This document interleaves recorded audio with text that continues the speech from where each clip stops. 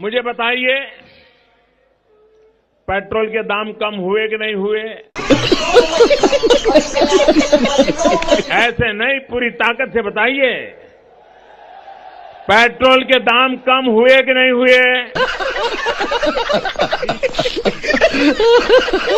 हुए